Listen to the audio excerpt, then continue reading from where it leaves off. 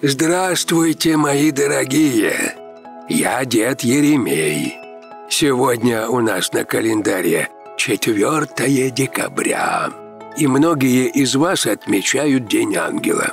Это день памяти святого, имя которого было дано христианину при крещении.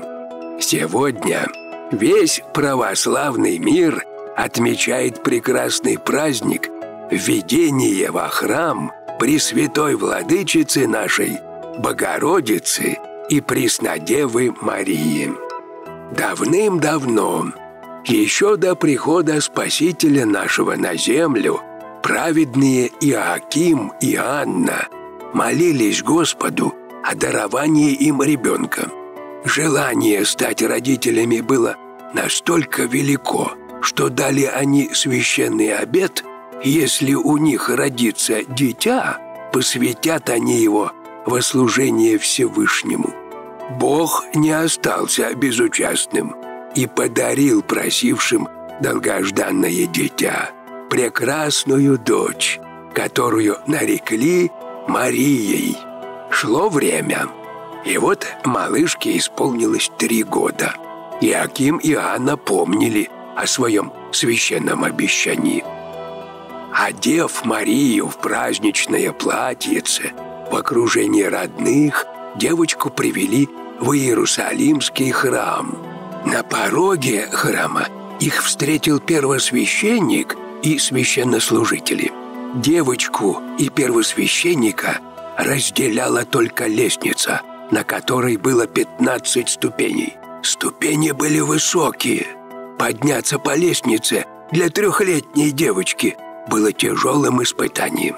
Однако, как только родители поставили ее на первую ступеньку, она, как птичка, взлетела на самый верх. Внутри храма первосвященник взял Марию за ручку и по внушению Святого Духа повел во святая святых.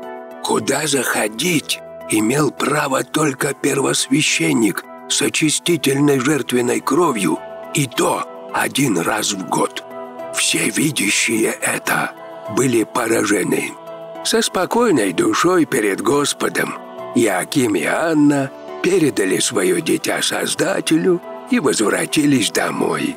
А Мария осталась жить при храме в окружении целомудренных дев, оберегаемая верным ангелом-хранителем, архангелом Гавриилом. Девочка прилежно изучала священное писание, занималась рукоделием и молилась, приближая день своего предназначения, сама пока не ведая об этом.